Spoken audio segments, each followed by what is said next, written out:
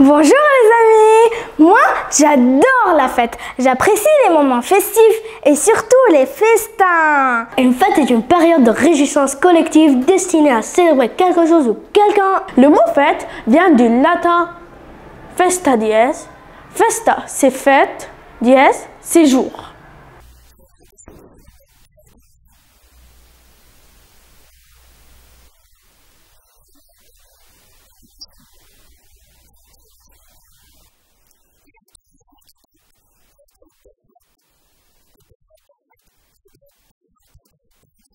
Vous vous demandez pourquoi on fait la fête? Moi aussi, je voudrais le savoir. C'est pour s'amuser, se rencontrer et aussi c'est pour oublier les problèmes et aussi les soucis.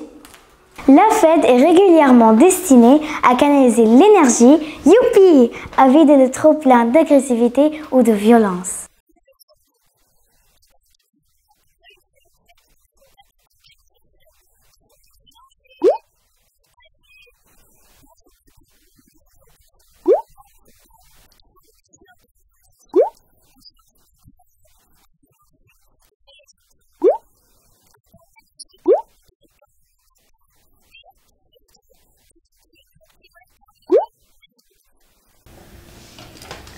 Maîtresse, il triche.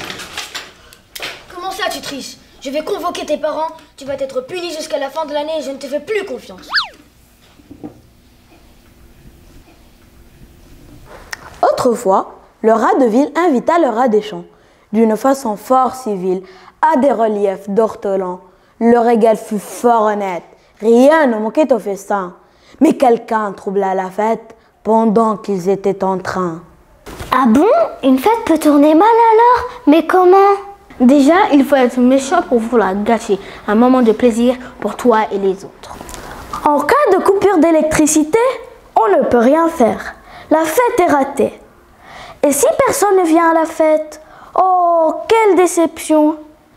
Et si nos parents insistent, ils veulent assister à notre fête, est-ce qu'on peut vraiment se défouler devant nos parents?